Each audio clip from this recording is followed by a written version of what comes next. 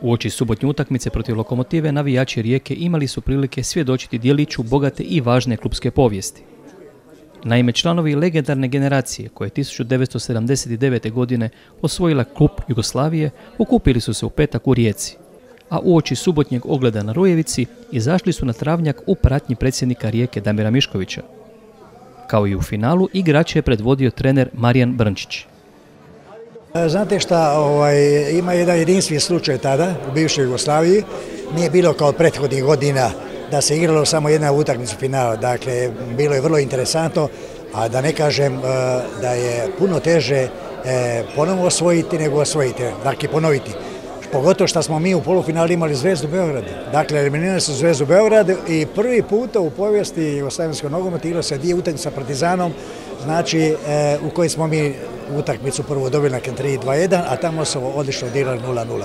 Dakle, smatram da pored toga što smo prvi kup koji je bio sjajan, smatram da je e, ovaj drugi kup bio još značajan baš iz ovog aspekta što sam vam rekao. Iako je prošlo 40 godina, sjećanja ne blijede. Stvari interesantna je stvar, e, mogu vam reći, da su se uvijek Beogradske klubovi, dakle najveći i Partizan Zvezda nas bojali. Zašto? Rijeka je uvijek igrala pravi nogomet. Prema tome, ovaj, za nas je bilo jedno ugodno značenje, jer igrati pre 50.000, igraš sa faktički službenim e, prvakom Jugoslavije, izboriti povolje rezultat i ponovno osvojiti kup kao što smo to napravili prethodne godine.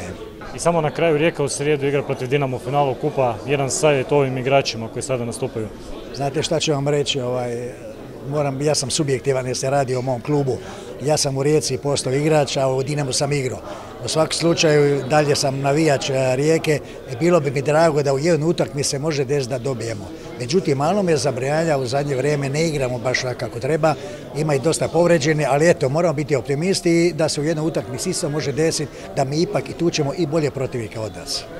Generacija je to koja je osvojila prestižni trofej drugu godinu zaredom između ostalog savladavši u polufinalu Crvenu zvezdu te u finalu u dvije utakmice Beogradski partizan, velikani jugoslavenskog nogometa. Rijeka je na Kantridi savladala partizan 2 naprema 1, a prvi zgoditak postigao je Nikica Cukrov. Pa dobro, mislim, e, veličanstvena atmosfera na, na, na toj utakmici na Kantridi, jer mislim da je to bilo prvi put da se igrali u finalu dvije, dvije utakmice.